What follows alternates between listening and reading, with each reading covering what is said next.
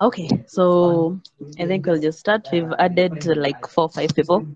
That's a significant uh, difference. That's a some big significant difference.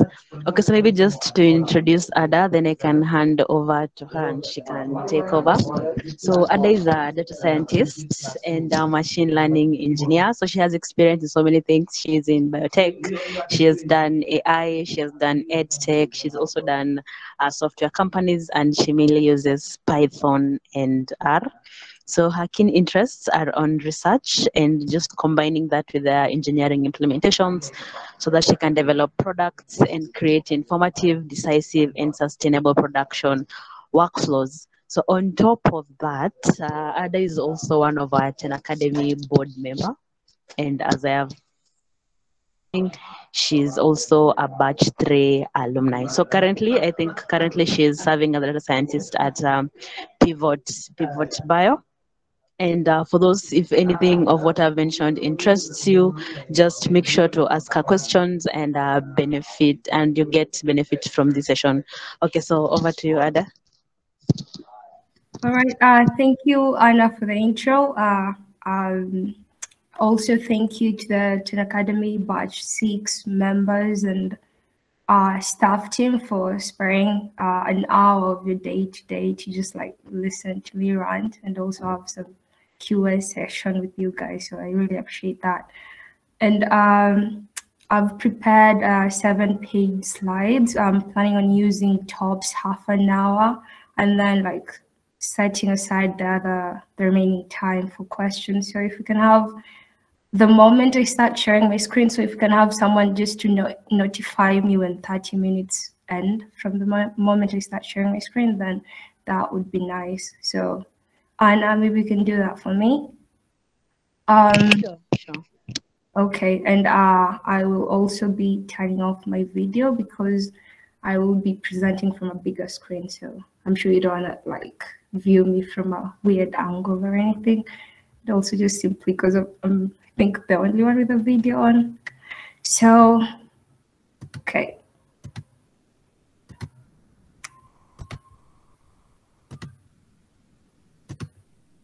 Um, so, can you guys see my screen?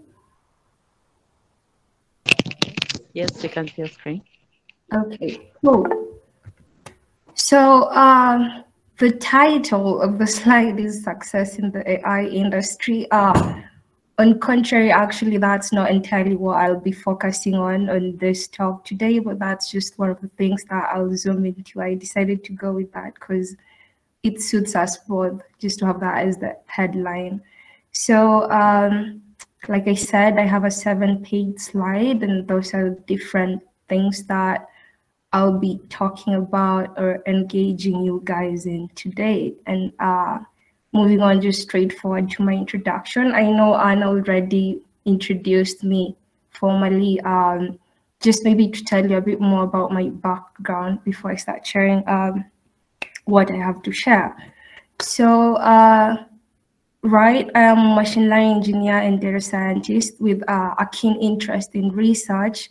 And uh, basically, you cannot be a, a, good researcher without having some experience in engineering. So that's why um, right now I'm a machine learning engineer and a data scientist. And um, in the middle column, I have a bunch of logos aligned for you guys. This is just like a summary of the edu my educational background. I did a bachelor's degree in mathematics and computer science at the Technical University of Mombasa, um, which is located in Mombasa, which is also where I live, although currently I'm not in Mombasa. That's why I have a Marvin.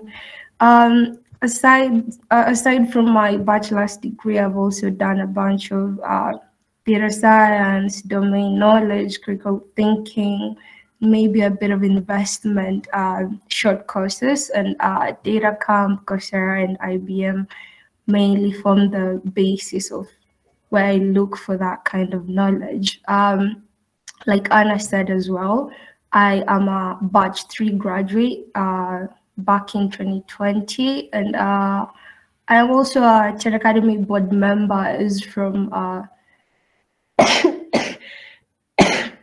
excuse me is from uh, some time.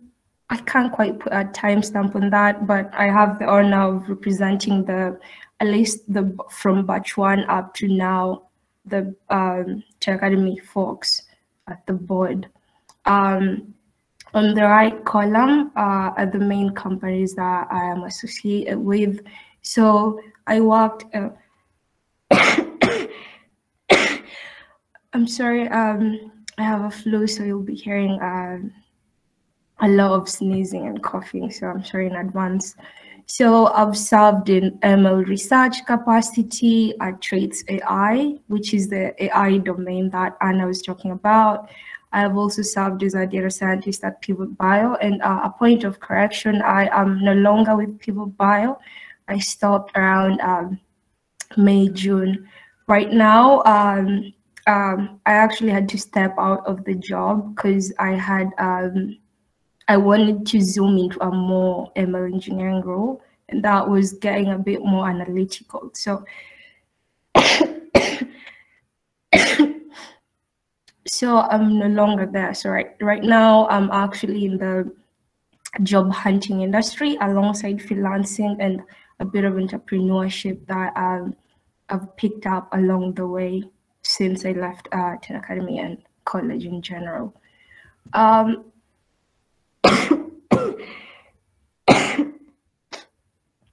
so, um, uh, okay, since we have the QA at the end of the presentation, I'm just gonna uh, let you guys, I'm going to let you guys like write down your questions on the side. So if you have anything along the, stri uh, the slides that I'll be sharing, you can just ask at the end. Uh, so um, I'm going to talk a bit about my experience at Ten Academy and uh, just diving right into it, I'll start with my last point, which is the, um, the intensive and the vigorous nature of the program. So um, I'm not sure what week you're at right now, but I bet maybe under five weeks.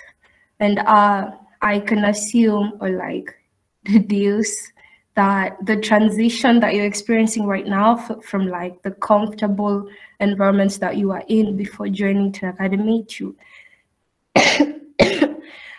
um sorry excuse me to what you're dealing with right now um i i was there and uh in my in my opinion from my pov it was intense and quite a transition for me but that's not to say that my experience was ugly or uh, not some was ugly or something that I was not uh, looking forward to.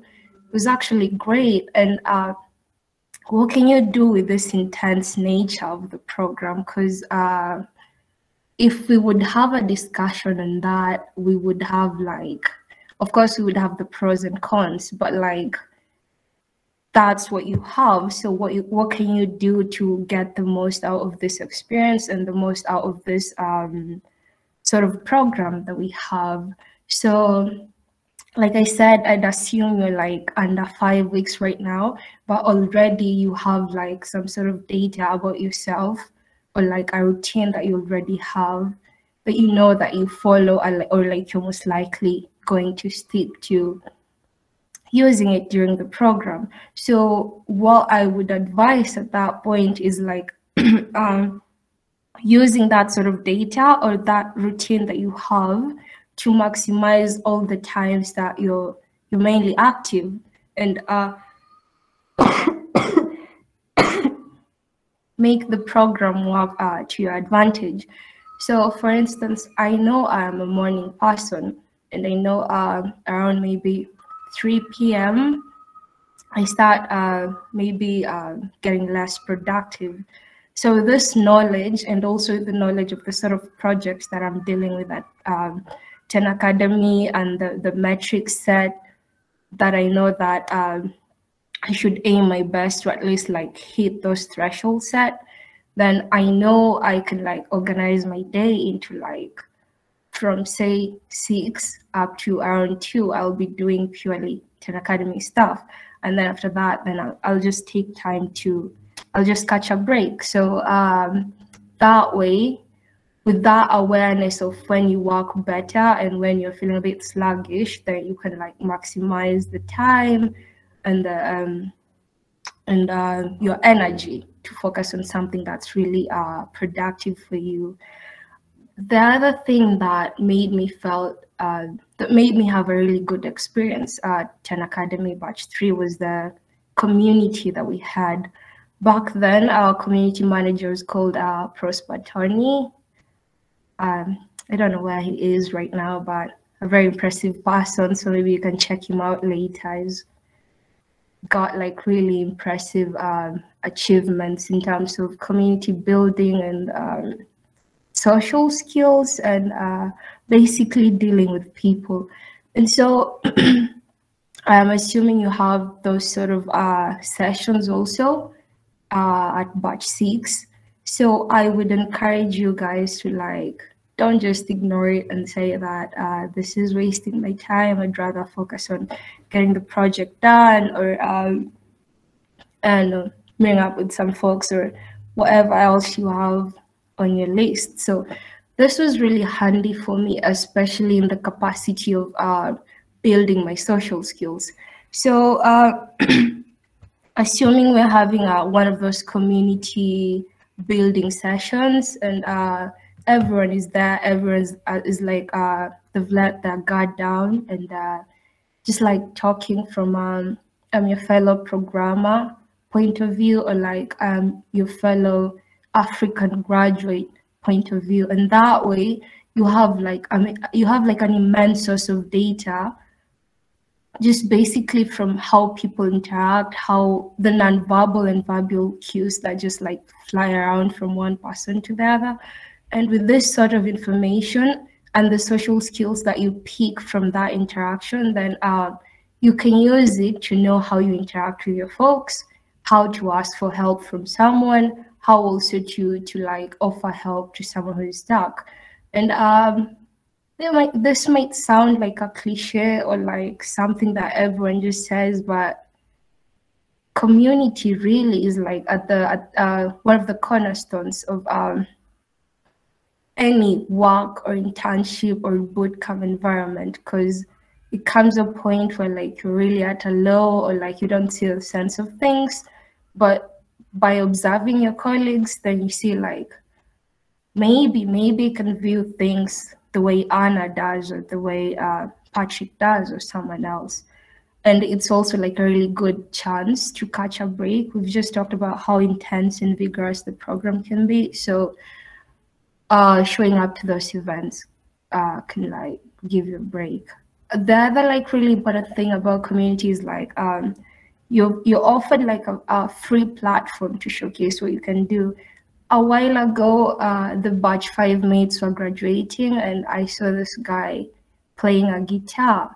And um, yeah, no, I, I don't know if that performance did anything to, to, to them or it was just like for fun, but you can imagine like his content has been posted on Ten Academy's YouTube and that already right there's like free views for them or like just the simple joy of like being able to show what you're really good at. Maybe you're like lagging in programming, but by doing that, it really like boosts your morale to like feel like you have a place in the in the program. Uh, the other thing is uh, still in the context of community, uh, finding your own uh, bunch of people that you easily interact with. So uh, this goes without saying uh, not everyone can just like join a, a community or a group or a boot camp and like shine or be talkative or be easygoing like maybe some other people would be. But like finding your own people who you can spam with messages at night you can even like look for form or, or um, I'm thinking now phone is more of a Kenyan term, but like uh, looking for fun things to do when you're not doing Ten Academy stuff. That's really helpful. And just like cheering each other up when you're feeling like, oh my God, this week is so draining. And um, I feel like maybe I should stop or like just mark time until I feel like I'm back to my best. But having that group, it will like um, I don't know, motivate you, psych you up, help you when you're stuck. And it goes without saying, once you have like your clique where you're easy to like interact with, then it's easier to get help from within that group than having to source somewhere outside. And this is not to promote the sense the, the sense of like groupings and stuff, which would otherwise maybe in a long shot cause discrimination and stuff. That's not the goal here. Um, what I also found interesting in my experience at 10 Academy was the the leaderboard. Um, again, I'm going with the assumption that you still use those nowadays. We also had the badges. We had the the, the best at engineering, the best at presentation and whatnot. And once in a while, we'd uh, take tasks from maybe Zindi or Kaggle that involved like leaderboards and stuff.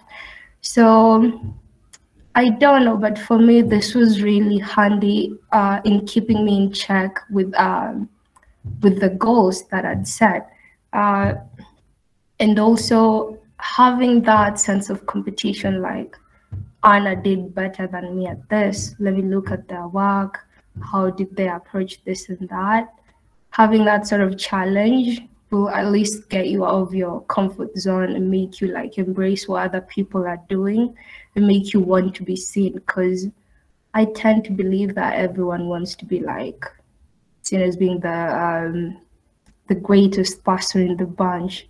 And you can do that. You just have to like find the right sources of motivation and put in the work. So just to summarize the slide, my experience at 10 Academy was um, I can't quite put one word to it, but at the very least, it was interesting. It was it made me grow in a lot of aspects of life, technically, socially, uh, mentally, and even uh, I don't know the term for networkingly, but that was also like really handy. Um, um, so if you have questions regarding this slide, you can just like jot them down and I can get back to them later. Moving on, um, uh, the life after graduating from 10 Academy. So I can, I think we can all agree that this is like the, the phase that we're really looking forward to. And I can also say out of experience, this is like the, one of the most challenging phases we have the now I'm done. I am very confident that I have skills that can land me a job on top of the very nice education degree that I have. Now I need to get a job. I've applied to 150 job applications. Maybe 30% of them I, I managed to get up to like the third phase, but that's the farthest I got. And then the rest I didn't get responses. I, I'm, I'm saying this not to be negative, but because uh, this is what you actually, at least most of you, statistically at least, will experience after after being done with Ten Academy. Uh, so we have that, and then maybe you decide uh, I'm gonna do a bit of freelancing so I can pay my rent, or so I can stop living with my parents, or so I can just have some extra cash to party, or maybe to invest, depending on what goals you have in terms of where you need money. So maybe you decide to move in that direction while you sort out things with your job applications. Or maybe you, or not maybe, but in the long run, you actually got a job at the end. So there are those three phases, and uh, they all have their challenges. There are um, quite a bit, uh, a few points that I can speak to the to those uh, sections.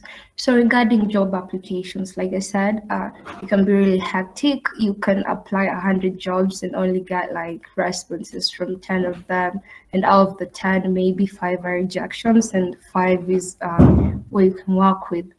So um, one thing I've learned in the process, and that I'm still learning about right now, because like I said, I'm still in that window right now since I uh, since my last job, uh, and also something that I've learned from Arun and other peers that I've met.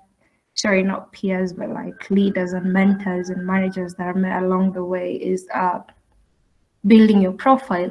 And this this applies both to the freelancing bit and to the job applications bit. So um, one thing about uh, employers or HR managers is they have a very specific um, niche or group of qualifications and skills that they want to fetch from a pool of over a thousand candidates and they want to make that um, they want to make that process as simple, as smooth, as accurate, and productive as possible.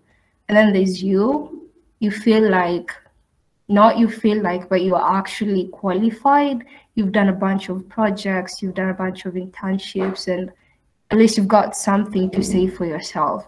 But you're not alone. Like right now, say you're batch six. Uh, I know, say you're 50 and you're all applying to the same job. So how do you stand out? So one thing I picked along the way is um, customization. Every job application, every freelancing profile needs to have its own uh, customized profile because um, at the end of the day, in as much as you want to get the job, um, you'll be doing the job for a company and you need to, to deliver what the company needs. So you need to show them that you can do what they actually request or like or need from you. That's where stuff like job description and requirements come in really handy.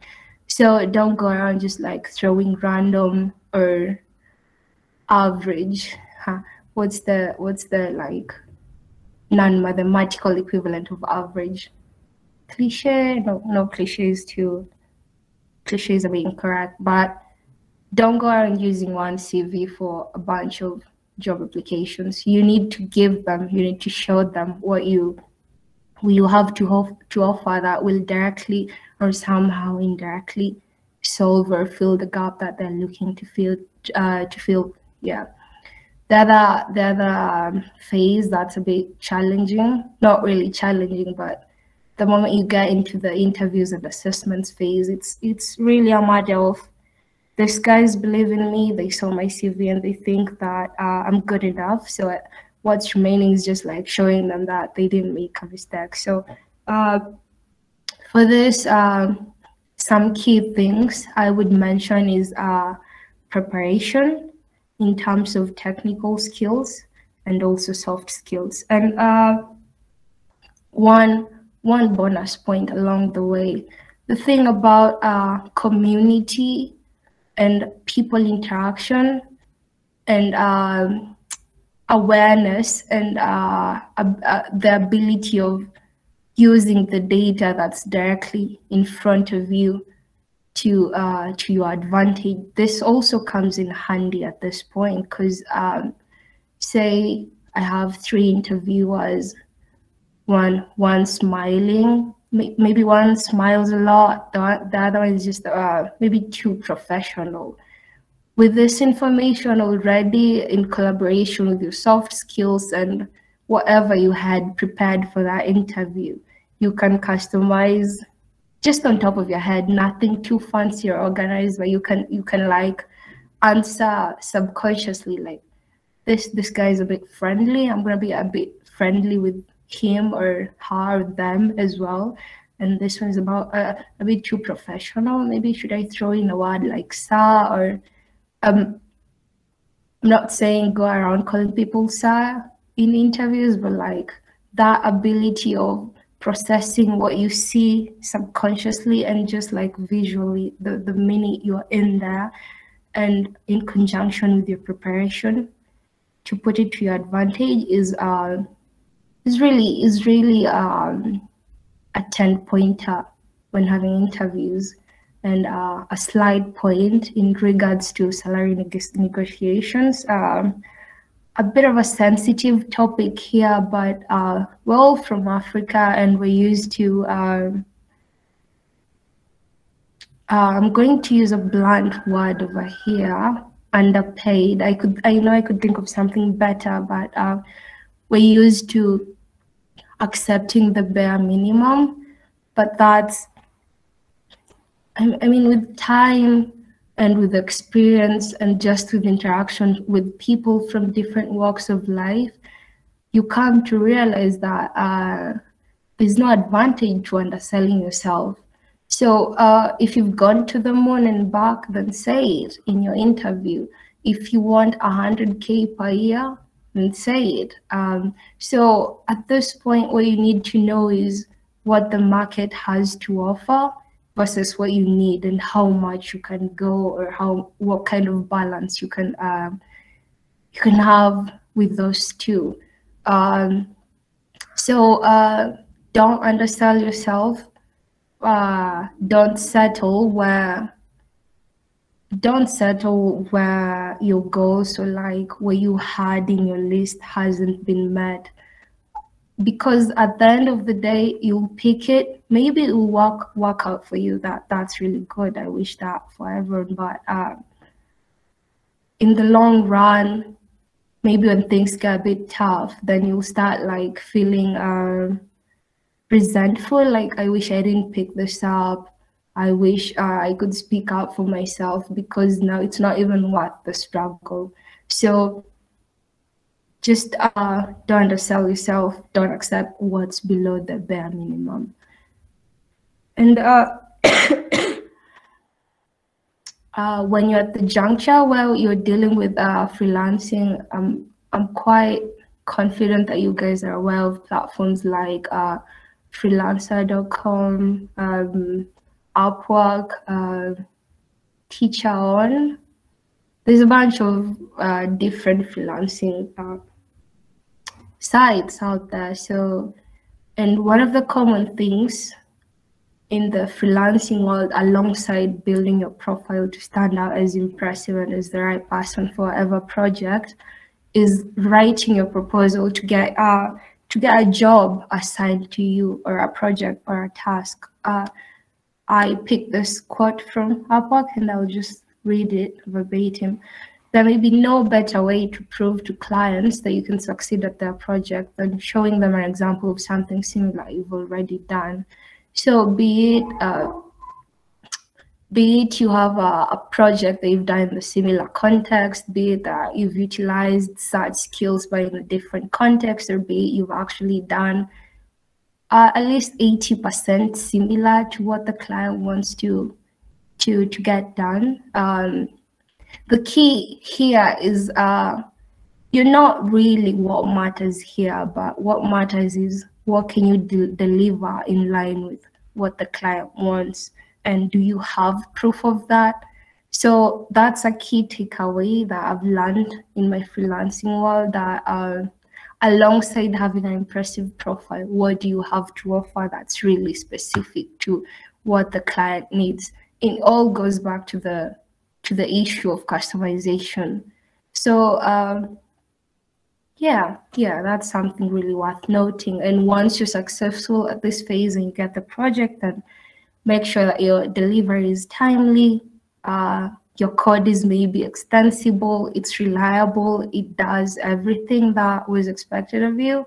And uh, this this is all for safeguarding your your rating or like um, retention of this particular client. Because believe it or not the first few clients that you're able to like pocket when you're getting into freelancing are the same guys that will like stick or string you along string you along the whole process.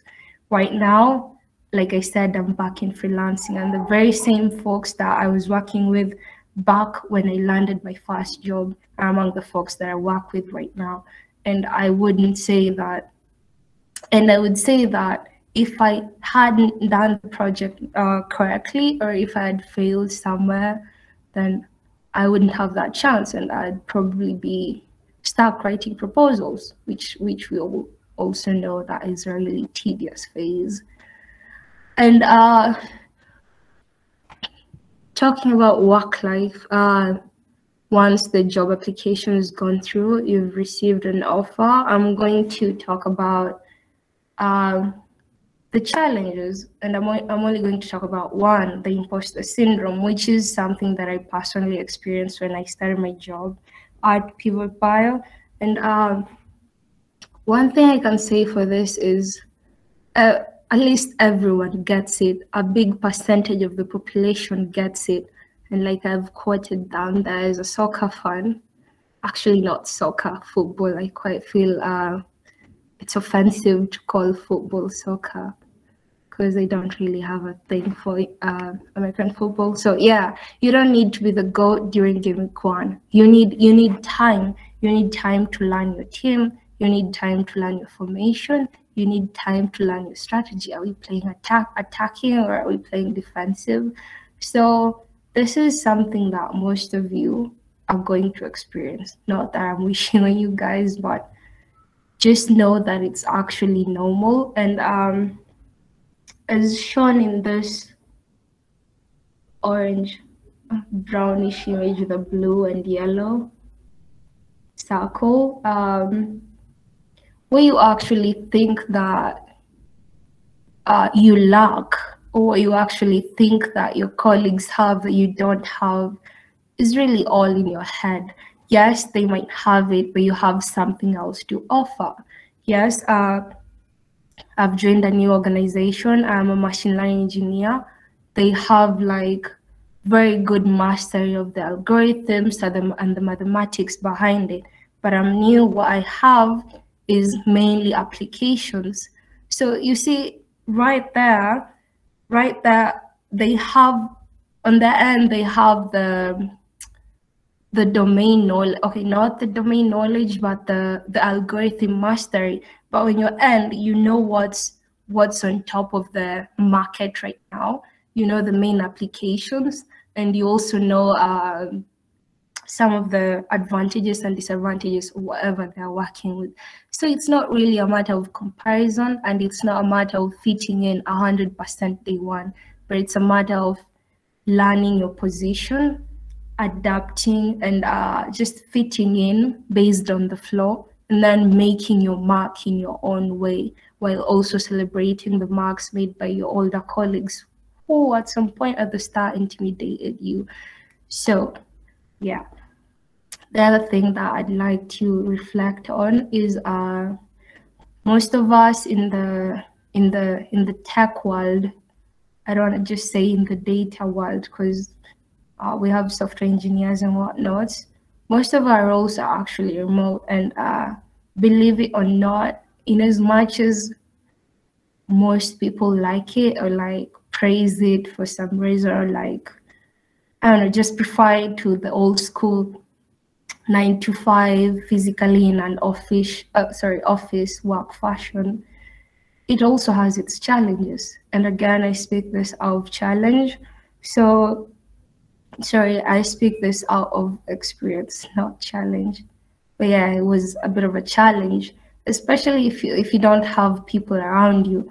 You really need to find a way to to balance the hours you spend at work and the hours you spend catching up with your mates or just like having normal work events because um, in as much as there's value in your work, in as much as there's reward, which is either good money or hey, big up from your manager, there's also that sense of fulfillment. Like I also exist physically. I'm not trying to draw philosophical lesson here, but like I also exist here physically and I see people in my life either daily or weekly, depending on the frequency that you go out.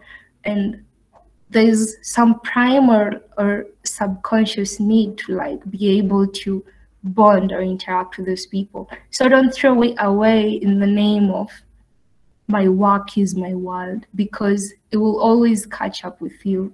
And the moment you have a work routine and things get a bit normal, then suddenly they get a bit boring. Then that's when you start to feel like, what else do I have to say from um, for what I am or for what I'm doing apart from work. And uh, lastly, once you guys get job. Okay. Maybe I just to cut you short. It's been 30 minutes. Wow. You wanted to know it was 30 minutes, so maybe I don't know how we can proceed. You wanna wrap up or maybe yeah, it's just it's been 30 minutes. okay, okay. Give me give me actually 15 minutes. Notify me again in 15 minutes and then I think I'll be done. Sure, sure. That's that's that's okay. Okay, thank you. Okay. So yeah, like I was saying, while working and like getting those fat rewards, always save and invest because I don't know, you never know. Maybe one day you'll get tired of working or you just want to get some extra cash along the way. So yeah, there's there's Bitcoin mining, there's crypto, there's so much, there's SMEs, there's so many things. There's shares and stuff. Just like look for the business people in your lives and drain them information because they're so very resourceful.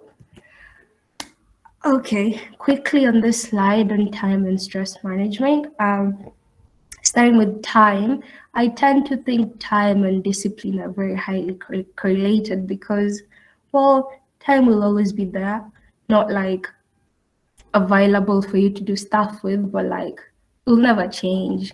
You, I mean, you always wake up in the morning, and mornings will always be like six or nine, depending on your program, and evenings will always be six or nine p.m depending on your program. So what I would emphasize on is um, stressing on discipline and some of the practices that I would encourage in terms of time time management is uh, setting up goals, whether long term, like yearly, monthly, or weekly, or short short term, daily, monthly. Uh, sorry, not monthly, daily, or hourly, or by hourly, whatever strategy that you use, and along the way also set um, rewards and penalties for like once I achieve this goal, I get I get this reward. Once I fail this goal, then I get this penalty.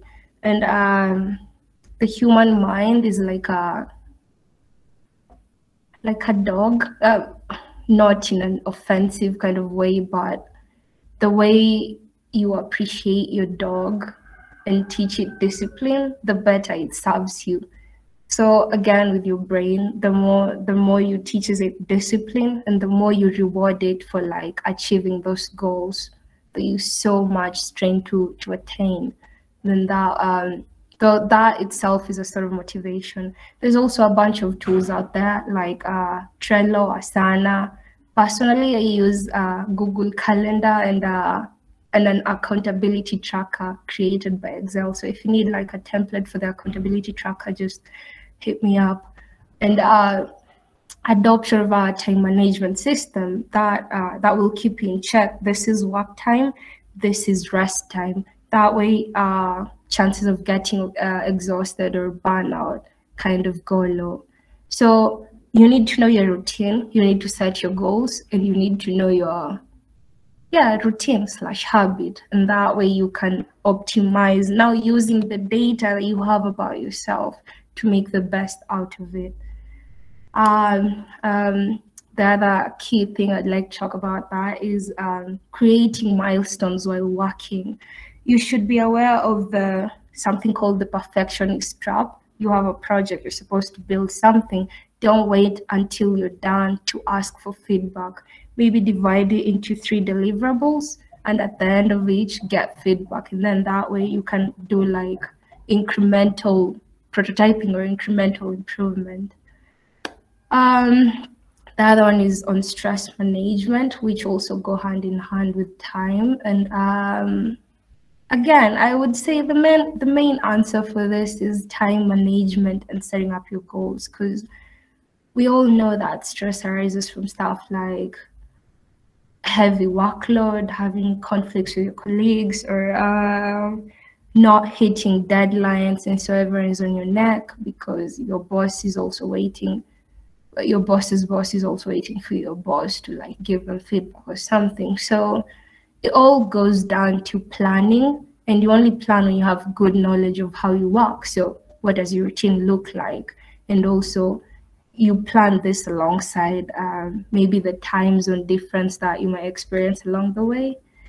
Uh, the other thing is back to the work-life balance. Be strict on that because if you work too much and they don't take time to to like chill and take a take a break, then I mean the the most probable end game is burnout.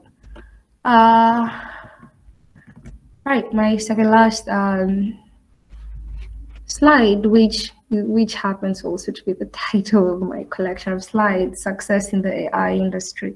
From my understanding, you guys are studying ML engineering, data engineering, Web3. Those three I'm quite sure of. And all this either directly or indirectly are related to AI, which is also my field of my field of career. So, and we can all agree on how it's so dynamic that tomorrow you could wake up that MLOps is actually um, at the center of AI because we have ML engineers, we have data scientists, we have data engineers, but we don't have people for CI/CD or like that whole workflow smoothing up. You could also wake up that, like right now, I mean, I was catching up with NLP, and back then TF-IDF was like the holy grail of NLP.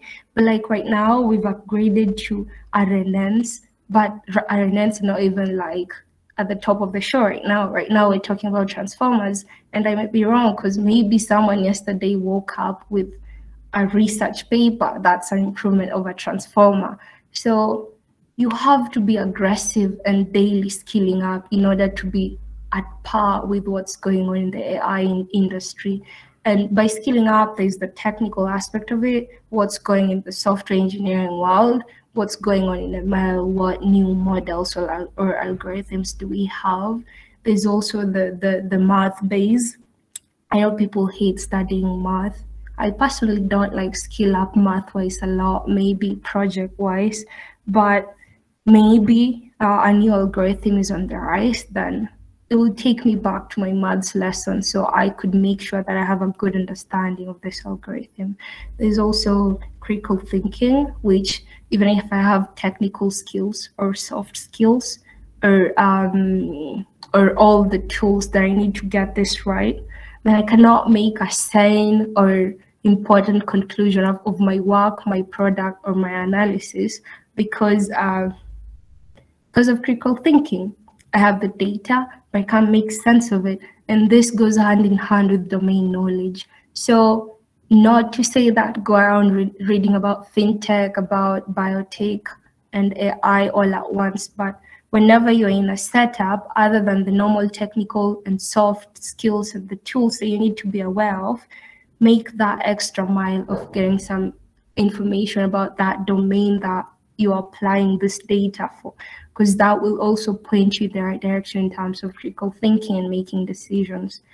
Also, um, you need to showcase your work, be um, building a, a, a, portfolio, a website, be it uh, writing blogs, be taking part in open source projects. And don't get me started on, on the importance of open source projects because I can only assume that you know the value within contributing to open source. Uh, so there's also the communities like Kaggle and uh, the Guards. You have to showcase your work. Like I said, there's about 50 or 60 of you right now, and you're all going into the same job market, and you want to get the, the same high-end jobs. So how else are you going to get that if you don't showcase what you have? Because I need to see what you're made of so I can trust that you can deliver what I want. The other thing is don't just do ML and data engineering, also zoom into other AI branches like chatbots, um, maybe applications of AI in Web3, maybe conversational AI. There's so many applications of AI. So if you're free, if you have the time, if you're in the setup, or if your work context allows you to, then get all that along the way because one way or the other you'll need it or it will boost your understanding of the whole AI industry. And finally, um, working in a diverse workplace. This I will summarize down to one point consciousness. I mean, everyone talks about awareness. I'm using awareness as a synonym of consciousness.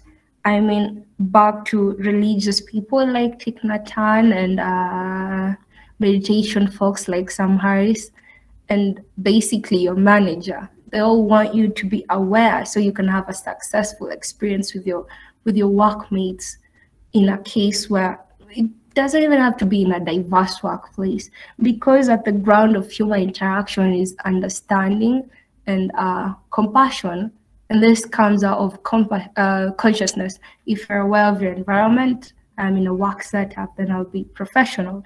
I'm in a social call, then I'll be a bit chatty and smiley. if you're aware of the difference in opinions, I am um, maybe I'm Muslim and you're Christian, and you don't uh, you don't like me. Uh, I don't know, talking a lot about. Uh, maybe there's just some insensitive topic. If I am aware that you don't do well, or like you don't tolerate that, then I can I can react accordingly. So the very first thing is being conscious of the people around you and then that way you can reflect uh, i mean you can offer professionalism sensitivity and respect and in turn get all those back and when this happens of course you have your soft skills up your sleeve and um, basically you have a smooth interaction work environment uh, there's always going to be challenges where people are not sensitive or people are just like uh, hard-headed or not sorry not that. People are just uh, selfish or they're just too self-centered. So again uh, that's quite a tricky question actually. In a setup where you're the conscious one and your folks are the actually the non-conscious or like the self-centered ones then i guess really it's it's matter of a question of social social um, i mean it's not really a programming domain but what i can advise is at the center of human interactions is consciousness. Just be aware of how you interact with people and there's a high chance it will be reflected back to you and don't don't be too scared if maybe you're from a minority group there's this um, stereotype that software engineers just like code at night wear hoodies and uh, just don't talk to people. Just go beyond those stereotypes and just be you. You don't have to be like, just be you, be aware, and be respectful of whoever is around you. Um, I believe that brings me to the end of uh, my presentation. Now, okay. Mm -hmm. So sorry. Thank you. I was, I was, just going to say thank you for that very detailed uh, presentation. I see some questions already started on the on the chats. Maybe we could go with those as we wait for others to just raise their hand. I think I think from now on we can just take um, hand. Um, Anna, could I actually ask for a minute break? One, just oh, okay. Thank you. Oh, okay. Um, so guys, maybe just reaction, not questions, a reaction. I hope the answers are some form of reaction as we give Adam some few minutes break. Andernet and Nat Nile, you have something to react to before before asking a question. Andernet?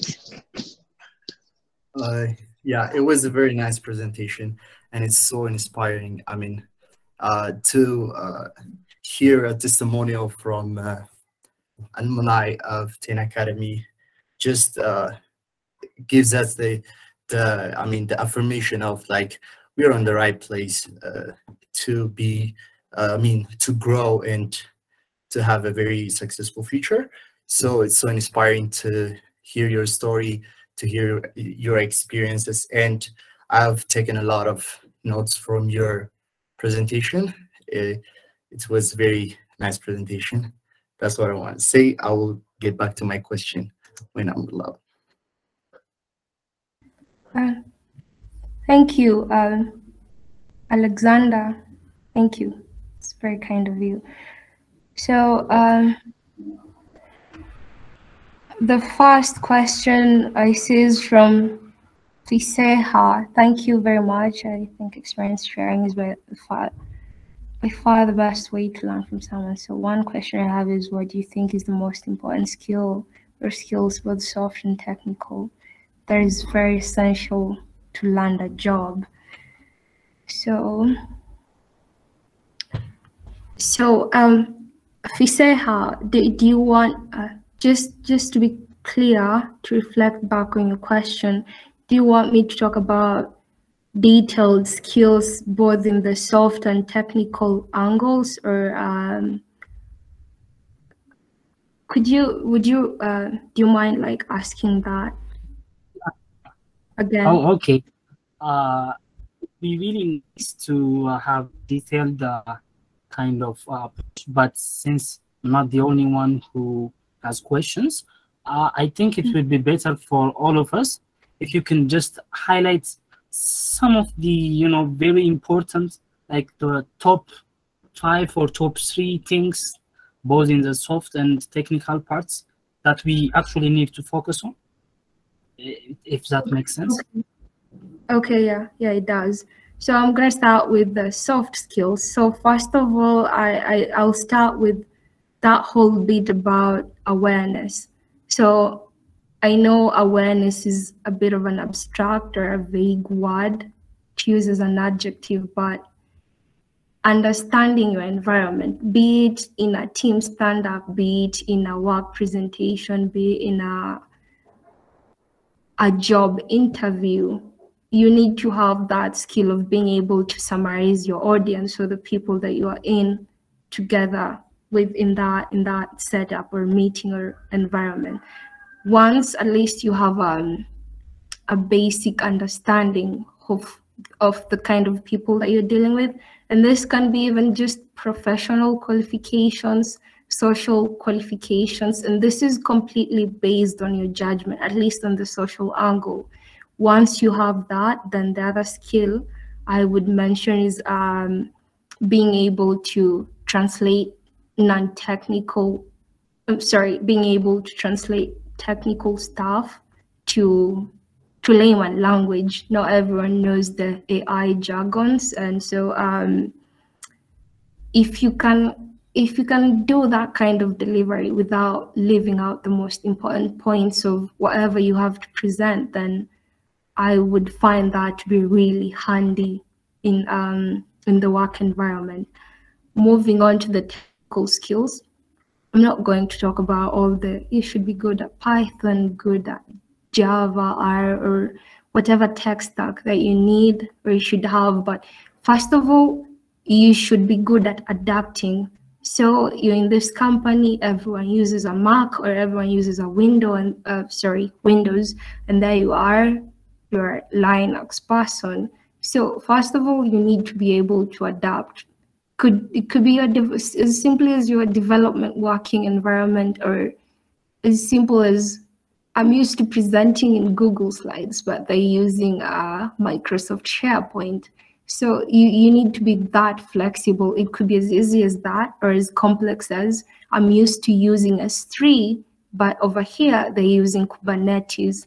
And um, just by earning the title ML engineer or data scientist or data engineer in, in this domain, in this side of the world that we work in, then enough has to be said about uh, this person has a really impressive profile or like they're really smart because getting here is not a joke. So ad adaptation goes hand in hand with your intellectual capa capability in which I believe that at this point, if we're all here, then at least we pass the bare minimum required for us to be able to adapt in those situations.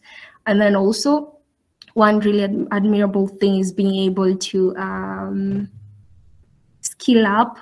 I mean, the moment you're in this work environment and you know people are dealing with robots over here rather than uh, financial statements that you're used to, then you need to be able to as quickly and comfortably and uh, optimal as possible catch up or fill that difference gap between what, between what you have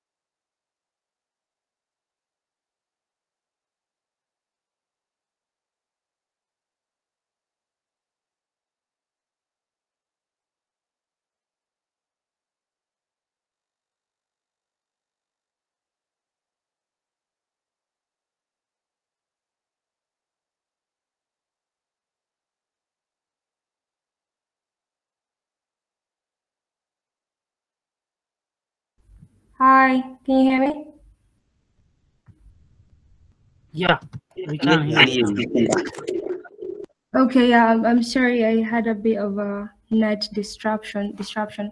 So, I, I, the, the other question that was in my mind was from Mar- Margaret Chakirui, who I'd also like to throw uh just uh, uh anyway, I went to high school with her, so nice to see you over here, Maggie. And uh, if you could paste back again your, your question, because I had to leave the meeting and rejoin. And any any other person who texted after Maggie. Hi, Ada. It's nice to see you here. Mhm. And my question was about how to balance um, work and sleep.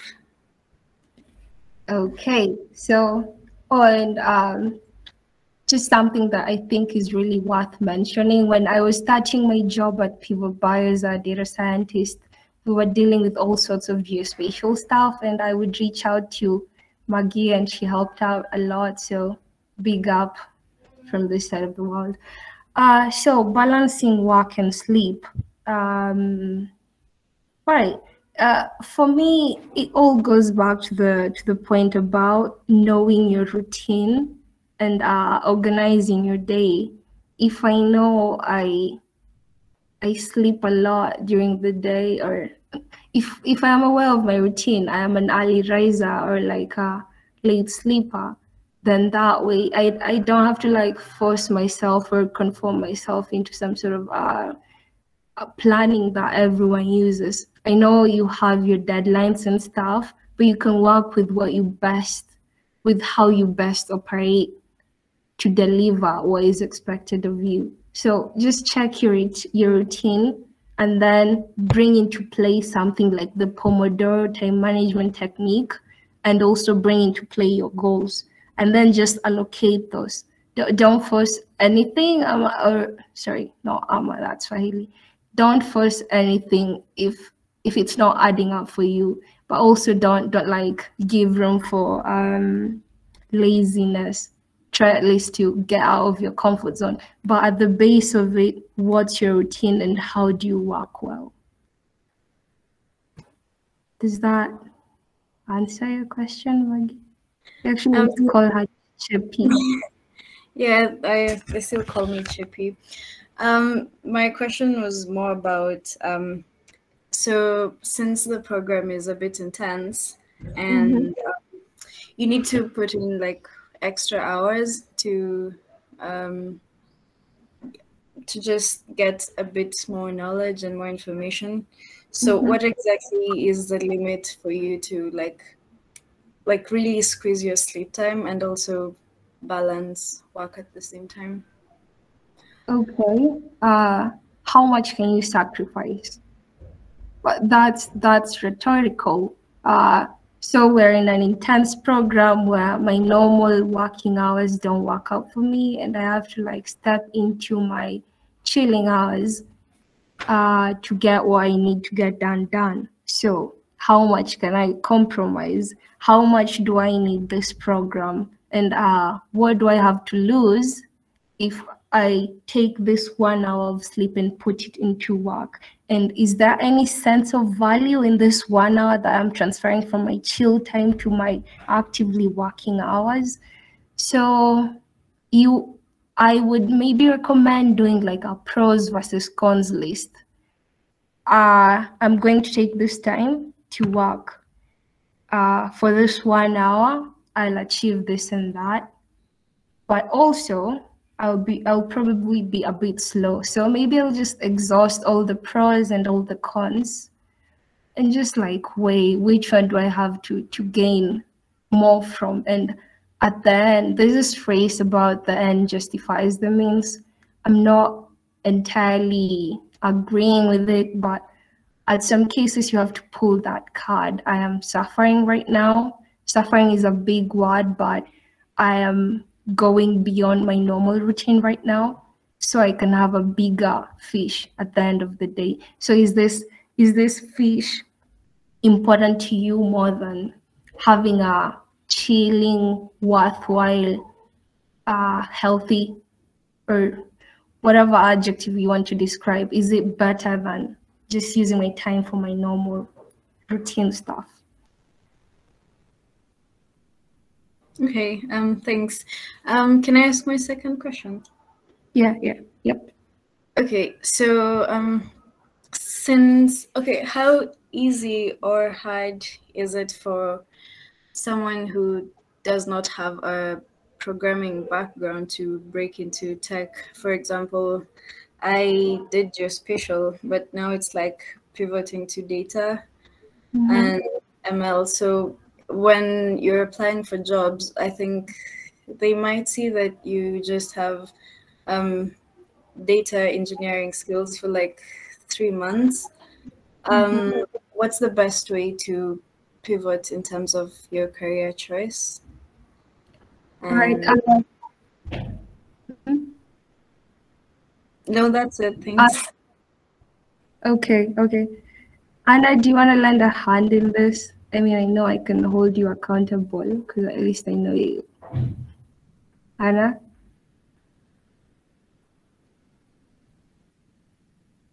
Or anyone, does anyone wants to take a shot at this before I can offer my opinion?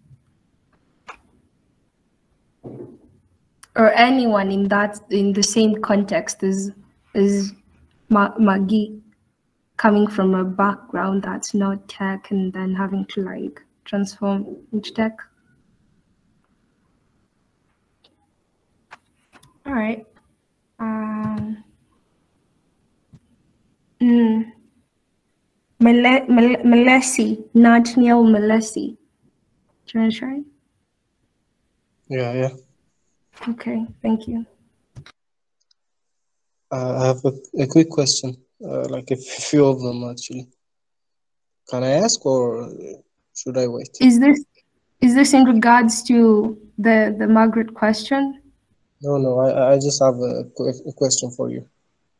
Okay, okay, just keep that in mind. Let's let's let's see. Uh, Andernet Alexandra, did you want to try the the Maggie question? No, I just uh, raised my hand to ask you, actually. Okay, uh, I guess you. Anna, can anyone hear Anna? She's actually typing in the chat box. I personally cannot hear her.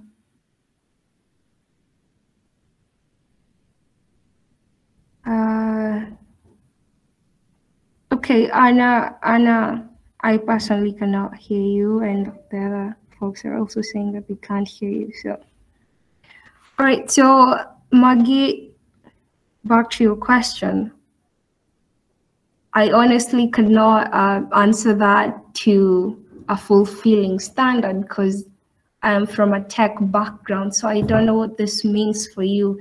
But um, one thing I know about uh, profiling in job applications is uh, not everyone will always uh, come come like come at your profile looking at what's your educational background and stuff.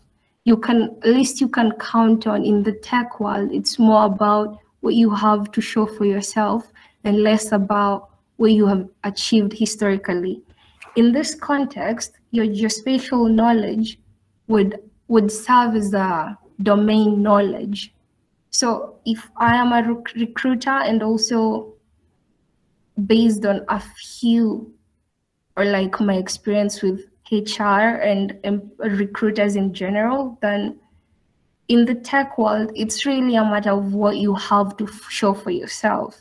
And this implies projects, boot camps, open source projects. What does your GitHub look like? What does your Medium look like? What does your LinkedIn look like?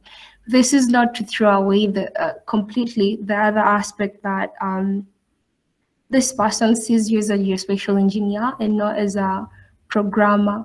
But uh, it's it really comes down to what you can show for yourself, and this is not one hundred percent.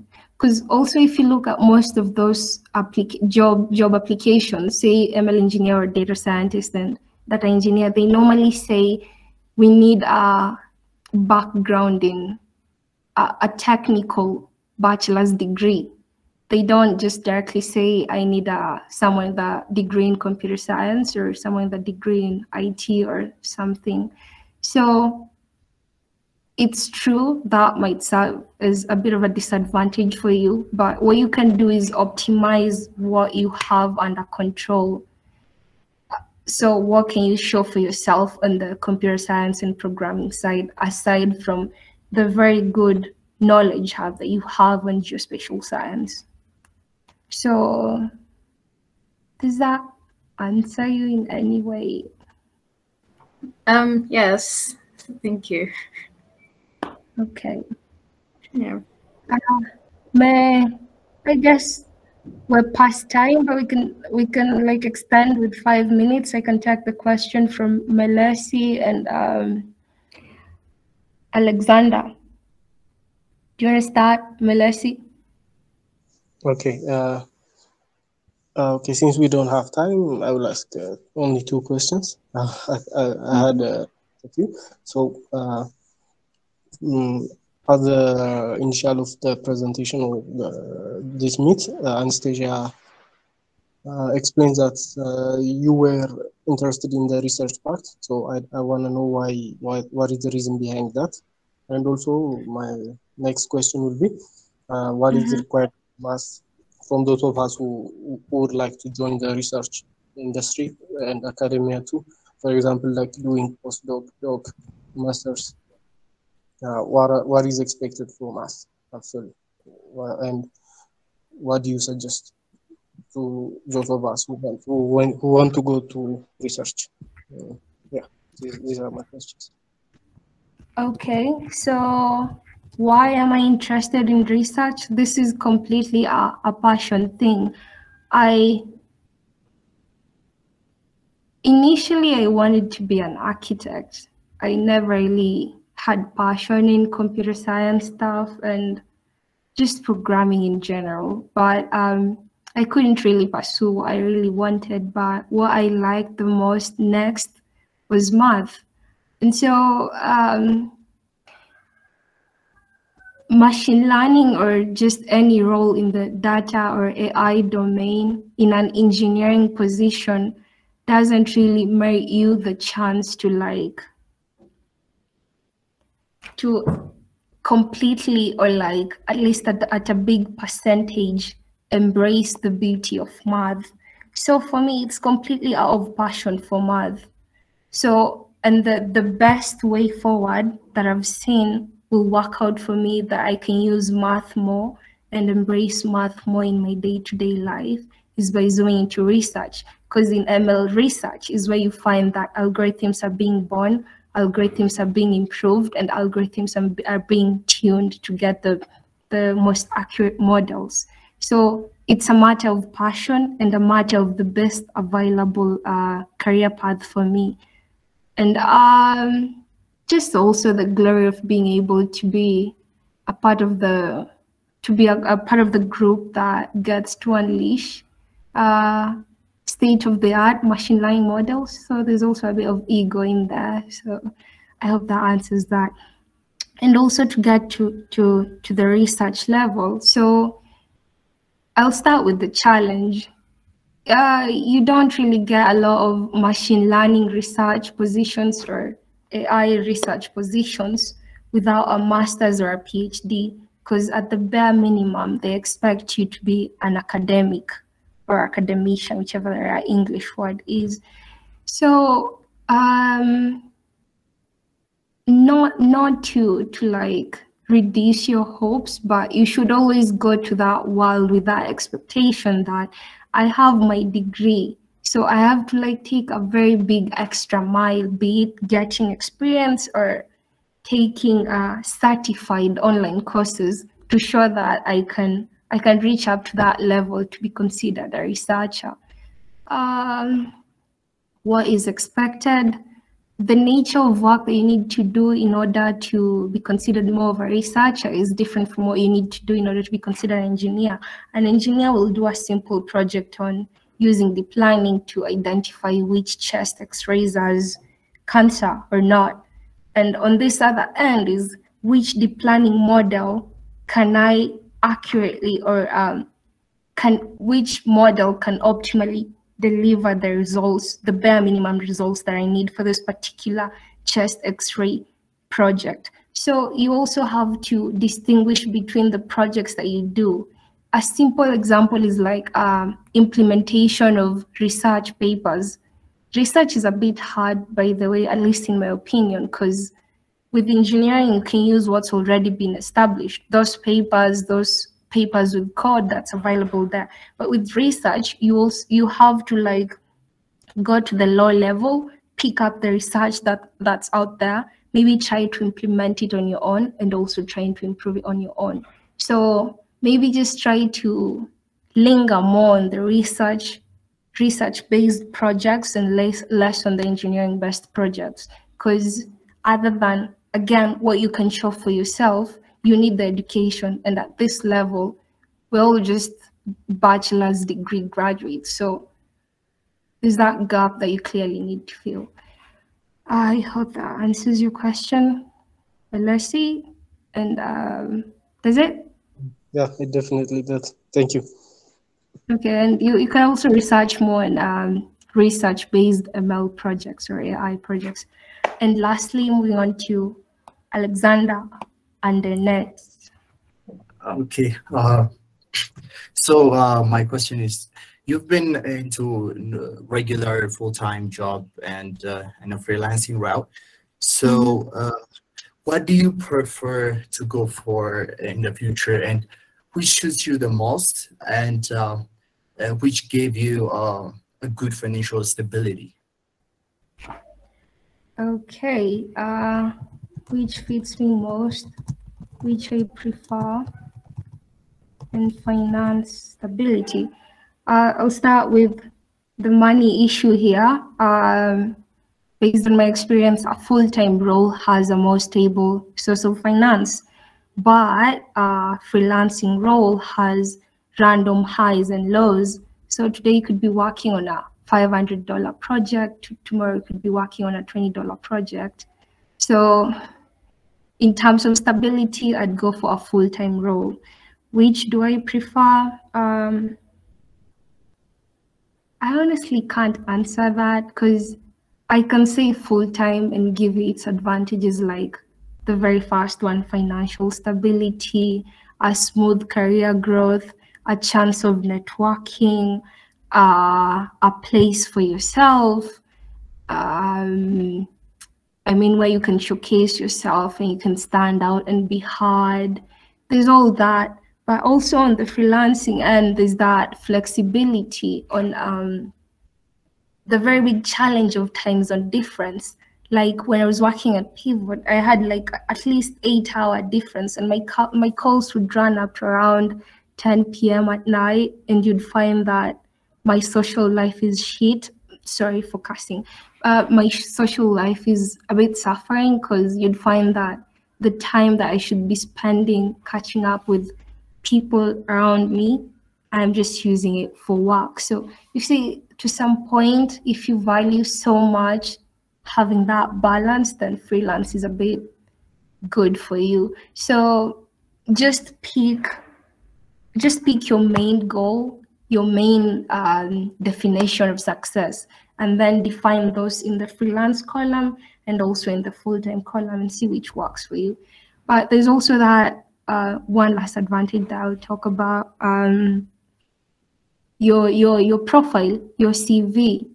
If maybe comes a time that you're tired with freelancing, and maybe Alexander, you have like three years freelance experience, but uh, Asefa maybe has three years work time experience, maybe in two companies, then as a HR, then I think I'd be compelled to go along with the guy with the full-time experience. So just check your main target, compare those two, and also the um, the side effects of whichever you work with. And I also tend to believe that all of us, not all of us, at least the greater percentage of us want to like have that personal experience of being in a full-time role, at least for the fulfillment of I have a job which is basically a big percentage of why you've been studying as an African, at least for the least. So that's really up to you, Alexander. Okay, I have a follow-up question, if I may. Mm-hmm.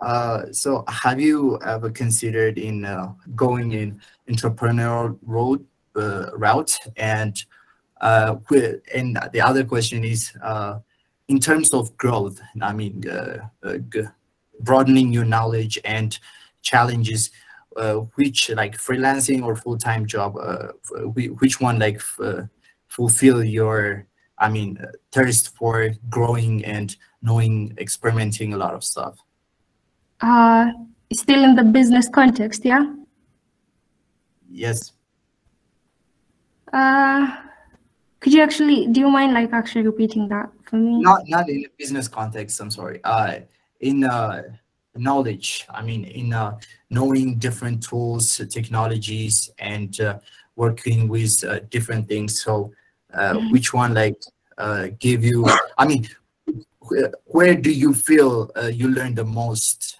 Uh, if you get what I mean. Okay. Um, in terms of growth and learning then i feel like freelancing is a bit better for that because you get to work with a variety of projects all the way from nlp to deep learning to simple data science analytics. But with a full-time job as much as you have that variety of projects that you're working on it's mainly under one umbrella one domain. So yeah you grow but you grow specifically in one domain does that um does that address it, Alexander? Yeah, yeah, yeah, definitely. Thank you.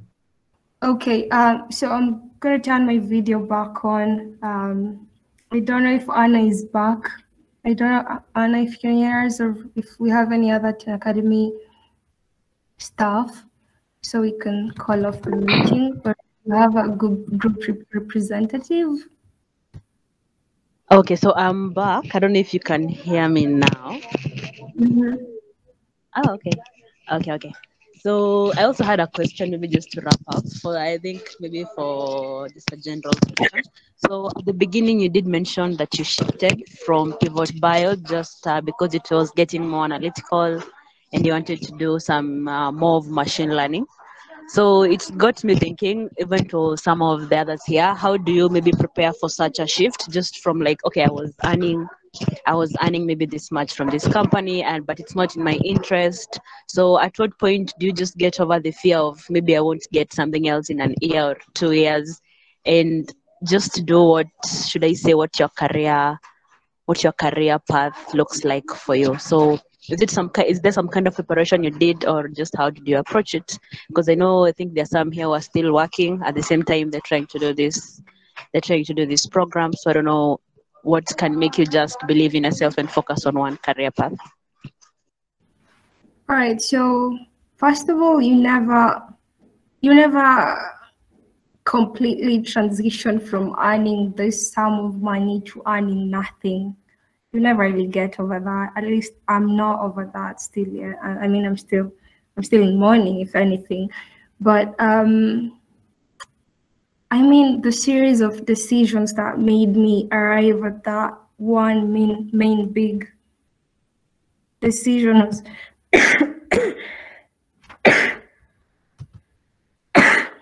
sorry um um for me it was really like how am i feeling at this job so i mean you're working daily you have your routine you have your normal stuff but you feel like um, I don't know, this is not quite what I signed up for, or if it is, then I am changing and I need something else.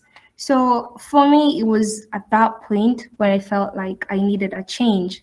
And then now I had to address what that kind of change, what kind of impact that sort of change had on my life.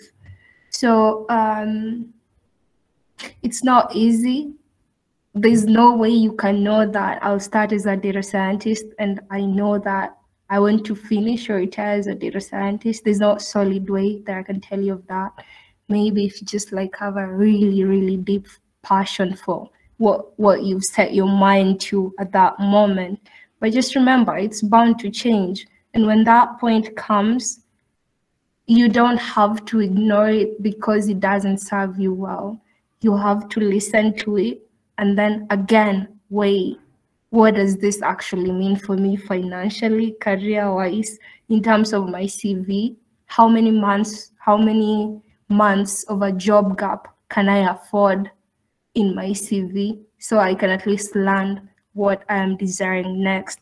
And also in the process, there's challenges like, oh, I got an offer from Safaricom, but no, yes, it's machine learning engineer, but I need something that pays me at least the same or more than where I was. There's always going to be those challenges. But you just have to be disciplined after you've sat down and discussed and weighed what this means for me and if I'm actually okay with this. And along the way, friends and um, motivation comes in really handy because at some point you you like really have super lows like any other normal human being but because you signed up for that, you have to be strong until the process is done. I don't know if I've addressed that everything that you said, Anna. It was a bit long, but maybe you can. Yeah, I think you've uh, you've uh, you've addressed you've Okay. addressed most of it. I was just mainly concerned because uh, okay, so for somebody like me, I've found myself thinking, okay, so I have rent, I have bills, Mhm. and uh, they can only afford four months of bills. So what happens after the fourth month if I still don't have that second job? Yeah, so I guess that you have to be Mkikuyu. Sorry, I mean to be Kenyan a bit. You have to like know what you're you're going to lose. You have to know like how I should cut down on my spending, and you have to have like a plan B after four months, and my spe- spendings. I mean, sorry, and my savings are all used up. Where will I go?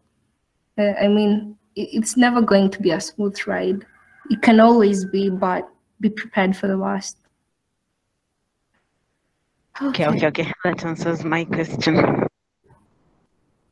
Um, I think we're done. It was Alexander the last person, and um,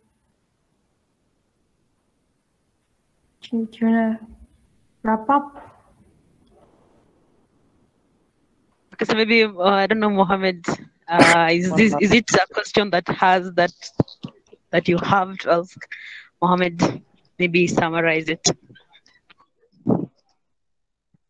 Uh, it's it's a short uh, question.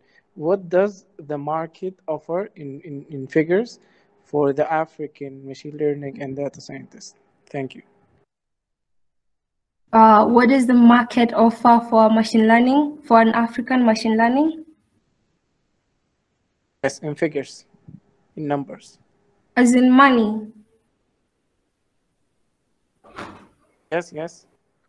Oh, uh, that's dependent on a few things. Uh, mostly the company, you always have to like go to Indeed or Glassdoor to see what they're offering, and then I'll compare it to the market standards.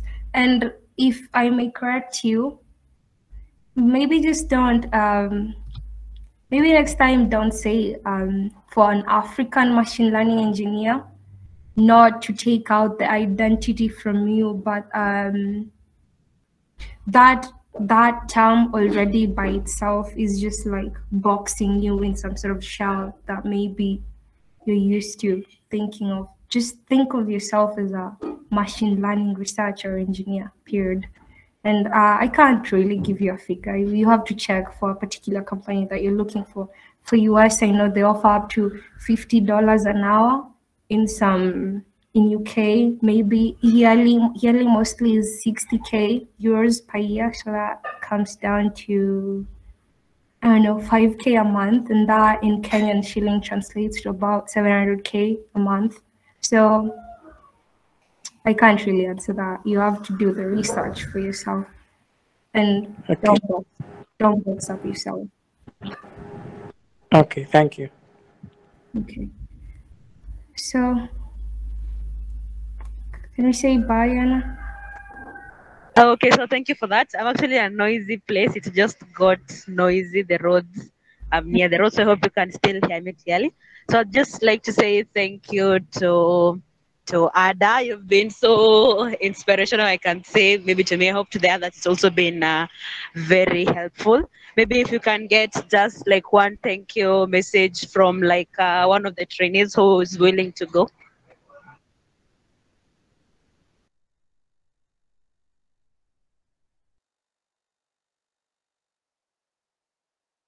Anjanette, maybe you want to speak up, Anjanette? Yeah, uh, I would like to uh, thank you very much. Uh, I would like to say very uh, thank you.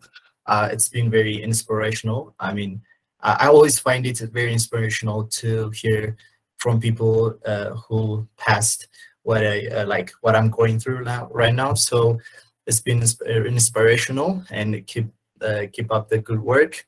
And thank you very much. Okay, thank you, thank you for that, internet, and uh, once again, thank you, thank you to Ada. Thank you so much for sparing the last one and a half hours to be with us today. Yeah, I think with that we can just wrap up. Emilian, if you're still on the call, you can just stop the recording, and uh, we can go into the CBS session now. All right. Uh, bye, guys. You can always find me on LinkedIn or Twitter or anywhere, really. You can just Google me. So nice talking to you and have a nice evening or afternoon, depending on your time zones. Bye.